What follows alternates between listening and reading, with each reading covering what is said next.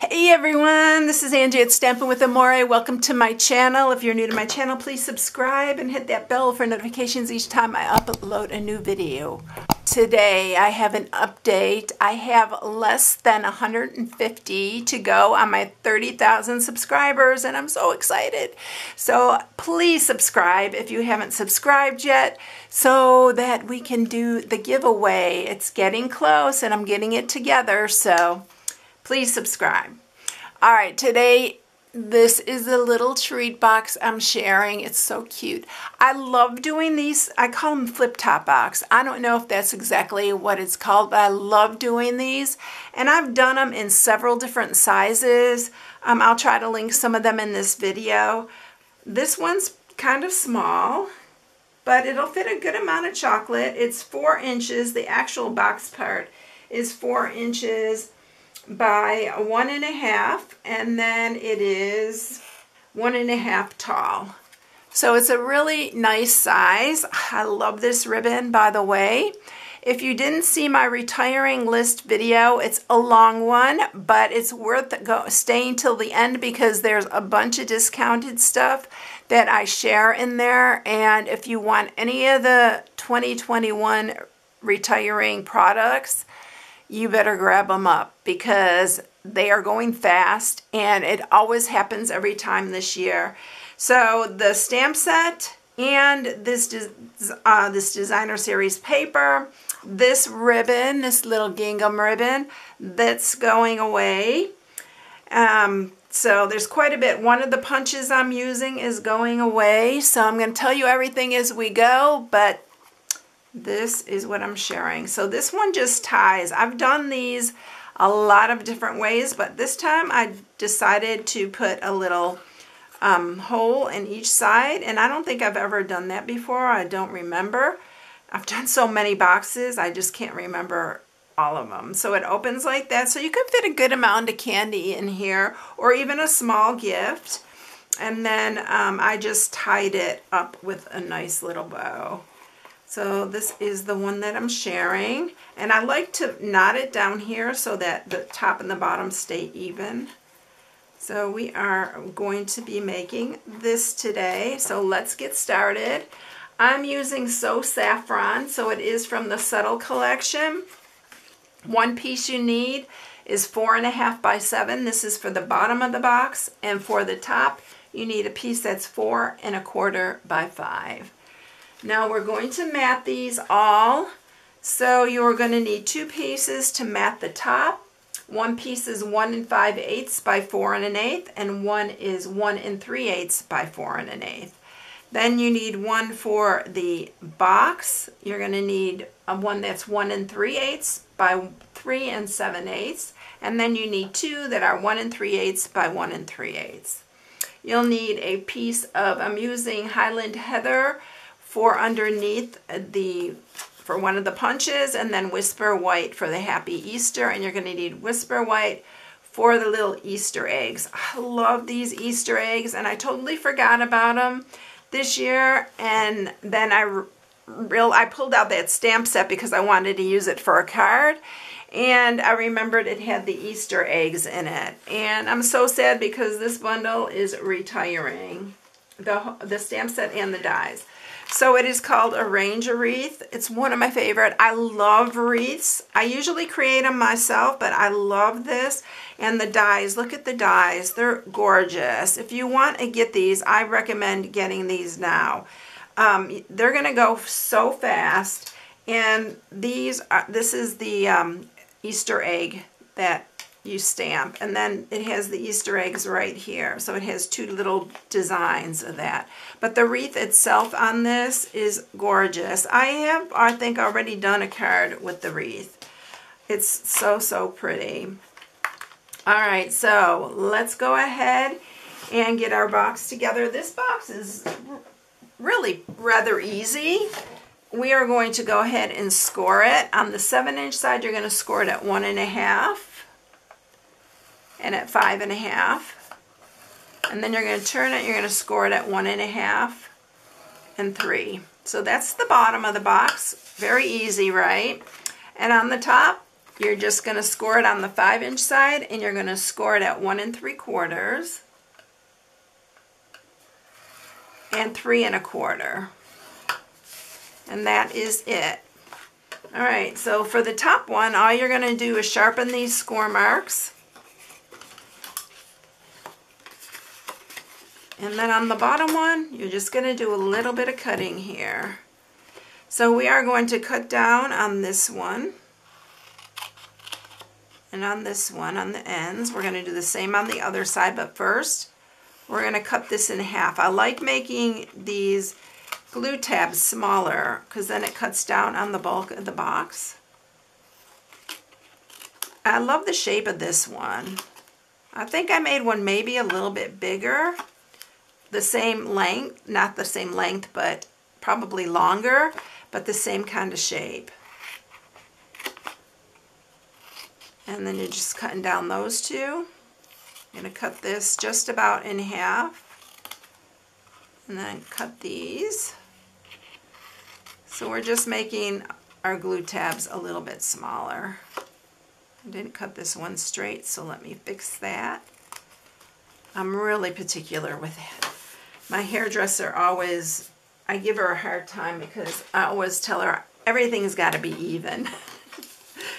All right, so now we're going to sharpen these. And now we're getting ready to put this together. I'm just going to use wet glue for this, but you can use your tear and tape. You can use your Stampin' Seal Plus. Don't use the regular, but use the Plus if you're going to do this because you want these to stay together. And then we're just bringing these up line them up so that they're nice and square.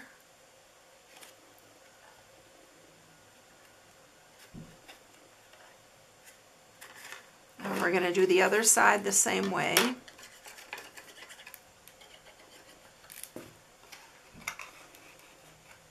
line these up.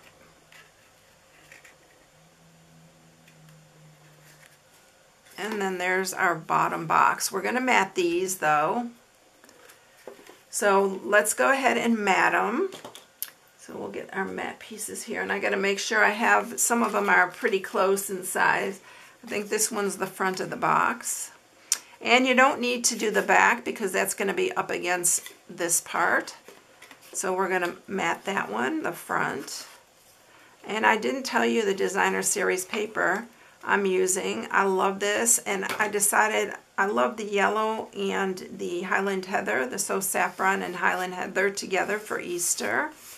So this is what I'm using. But it is called Fine Art Floral, and this is it. And yes, this is retiring too.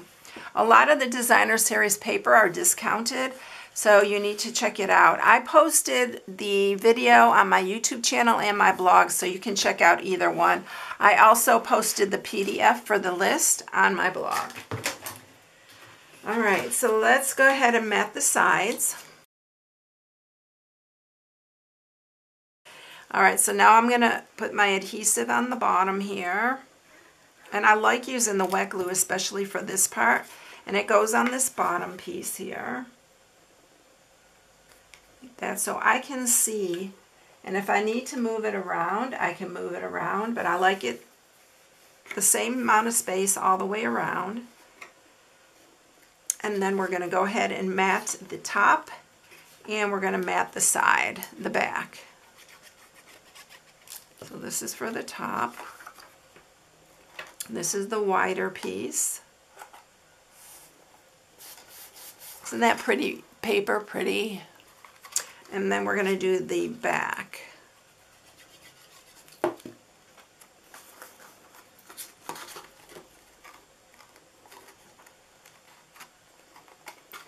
And scoot over. This is why I like the wet glue. If I get it off, I can lift it. All right, now I'm going to use my eighth inch circle punch. I don't like using the bigger one because it will show on the top. So I'm just going to punch in the middle. I'm just going to eyeball this and then one on the front of this to line up with the other one. We're going to grab our Daffodil Delight. I think this one's Daff... No, this is Bumblebee, but it's the gingham ribbon. I love it. this is one I'm going to really, really miss. I love gingham. But we did get to see the new catalog.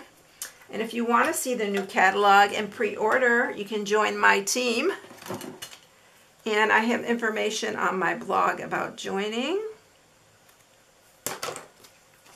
But yes, there's gingham somewhere in there. That's all I'm going to say. All right. I'm just tying the bow.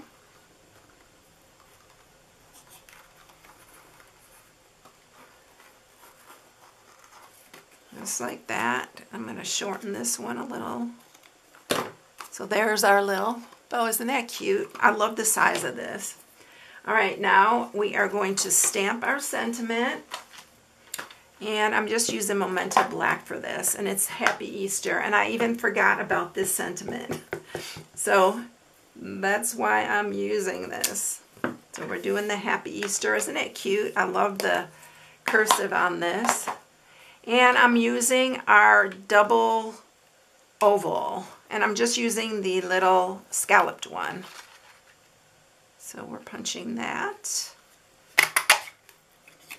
from there. And then I also am going to use, and I don't even remember the name of this, Timeless label. This is the Timeless label. I'm using this. This is the one retiring. And it fits perfect. The oval fits perfect in it. I love it. So I'm going to miss this one too. I love punches and I hate when we lose punches, but we are getting some new ones. So I'm going to just adhere this flat on here. So look how nice it fits into there. I'm popping up the little Easter eggs, so that's why I'm not popping this up. We're going to set this one here, and I'm covering up the little hole where we put our sentiment.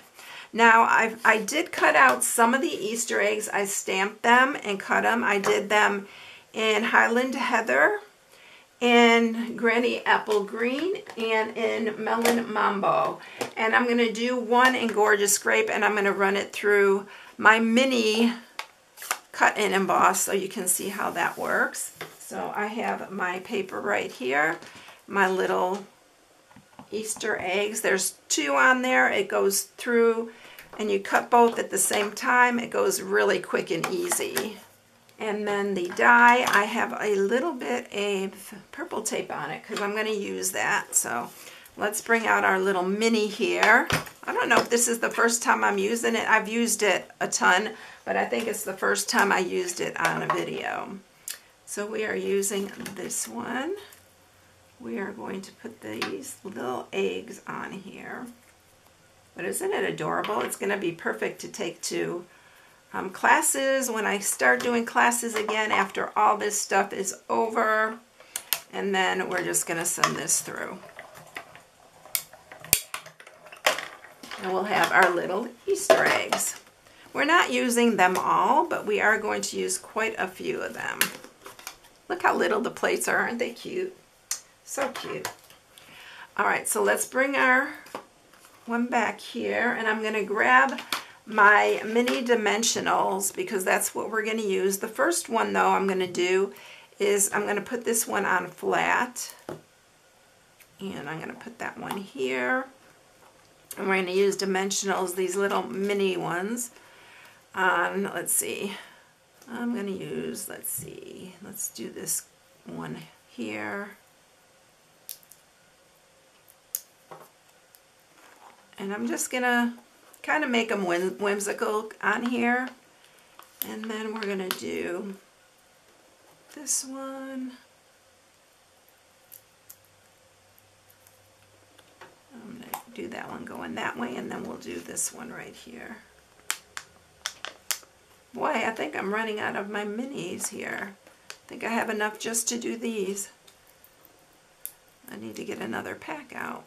And we're going to do that one there, and then we're going to do just three on the other side. And I think that's all I have for these. I'm going to put this one down flat too. So I'm going to put that there. And then we're going to do, we're not going to use that one. We're going to use this one. And then we're going to do that one. And I have one more left. one more little dimensional left. And we'll put that one right there. And that's it. There's just one that we're not using. I just wanted to give it an odd number on there because it always looks nicer. But isn't that cute? Super cute. This could be for an adult or a child would enjoy this with a small gift or some little candies. I hope you enjoyed it, everyone.